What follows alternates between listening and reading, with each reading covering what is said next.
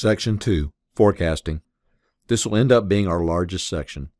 It is also the section where there is the most differences between textbooks, so pay close attention to which examples you study. The topics to be covered in this section are 1. Simple moving averages. As we will see, these are really just data smoothing techniques with the ability to forecast one period into the future. 2. Weighted moving averages. As we will see, these two are mainly data smoothing techniques. 3. Simple exponential smoothing. This will be our first real forecasting technique. While there is only one approach, there are two versions of the formula. Both versions are mathematically equivalent.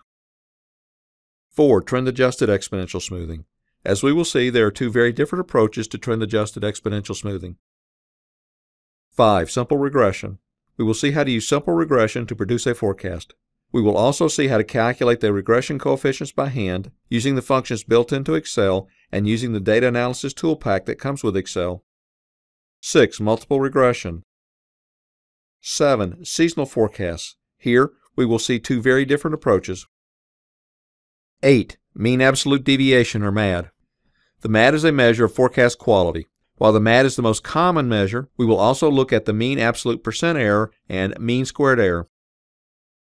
9. Tracking signal. Here we will see two very different approaches. 10. Control charts. As you've heard, with some of these techniques there are more than one way to perform the calculations.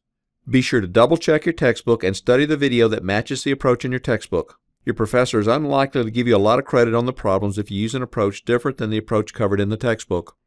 While unlikely, it is possible that your textbook might use an approach for one of these calculations that is different than any covered in these videos. If that happens, be sure to use the approach covered in your textbook.